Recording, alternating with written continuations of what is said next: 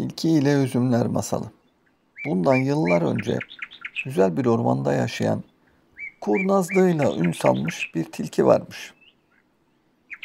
Bu tilki her gün ne yapar eder bir türlü karnını doyururmuş.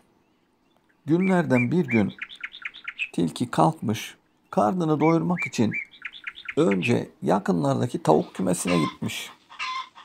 Ama çiftçinin köpeğinden dolayı tavuk kümesine girememiş ve oradan dönüp tekrar ormana gelmiş. Bu sırada aklına sudaki ördekler gelmiş. Hemen ördeklerin yuvalarına doğru yol almış.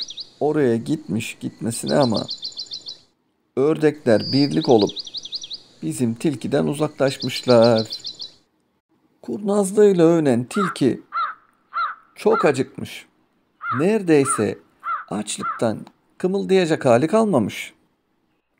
Ormanda uzun süre dolaşmasına rağmen bir av bulamayan tilki öğle yemeğinde ne yiyeceğini düşünüyormuş.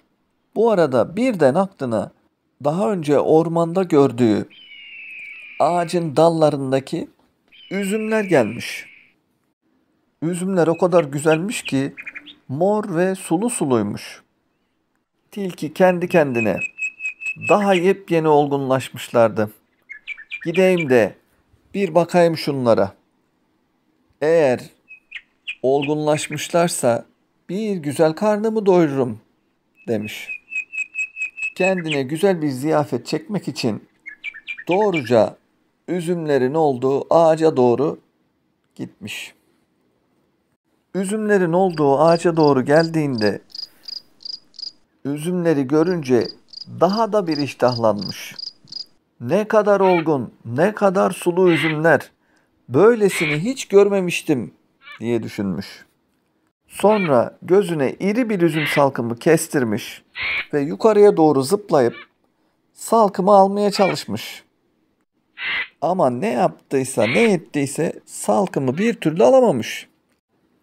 Üzüm biraz yüksekte herhalde deyip tekrar tekrar zıplamış. Ama yine de salkıma ulaşamamış. Açlıktan çok bitap düşmüş olan tilki üzüm almak için hoplamaktan zıplamaktan çok yorulmuş.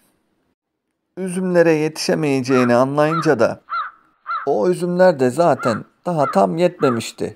Koruktu deyip kendi kendine teselli vermiş ve oradan uzaklaşıp ormanın içinde yürümüş gitmiş. Tıpkı tilkinin durumunda olduğu gibi insanlar da elde edemedikleri şeyleri kötülerler.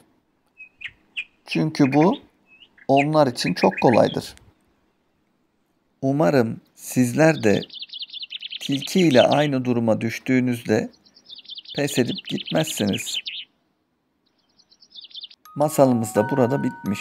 Gökten üç elma düşmüş. Biri masalı dinleyenlere, biri pes etmeyenlere, biri de masalı anlatana. Lütfen kanalıma abone olmayı ve videoyu beğenmeyi unutma.